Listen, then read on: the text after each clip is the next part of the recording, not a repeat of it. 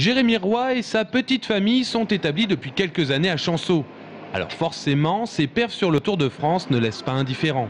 On compte sur lui, qu'il fasse, euh, voir euh, les couleurs Tourangelle euh, au Tour de France. Il l'a très bien fait l'année dernière, euh, en finissant meilleur, combatif du Tour 2011. Donc non, non, euh, qui continue comme ça. Au bar-restaurant Tabac de la commune, les discussions matinales tournent autour du sport. Après l'Euro de football et avant les Jeux Olympiques, on parle petit traîne au comptoir. Du coup, Janine, la patronne, se tient au courant par procuration. Bah, souvent, bah, ils se parlent euh, qui est-ce qui arrive le premier, qu'est-ce qui se passe.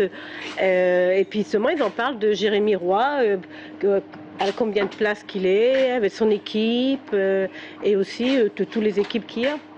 À la mairie, on a pensé faire un livre d'or dans lequel les cancéliens et les cancéliennes peuvent encourager et remercier le plus cycliste des leurs. L'esprit, c'est de montrer euh, à un cancélien que toute la population est avec lui, parce que euh, est important que les gens sachent euh, que sur des sports comme ça qui sont quand même relativement durs, eh bien, ils ne sont pas tout seuls.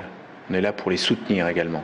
C'est ce qu'on a essayé de montrer euh, euh, l'année dernière euh, à l'issue du Tour de France pour le féliciter et l'encourager pour avoir de plus en plus des bons résultats et nous montrer de belles échappées au Tour de France. Pour Jérémy Roy, il ne sera pas facile de faire un aussi bon tour qu'en 2011, et c'est aussi une des raisons du livre d'or, lui montrer que les habitants pensent à lui, même quand il n'est pas aux avant-postes.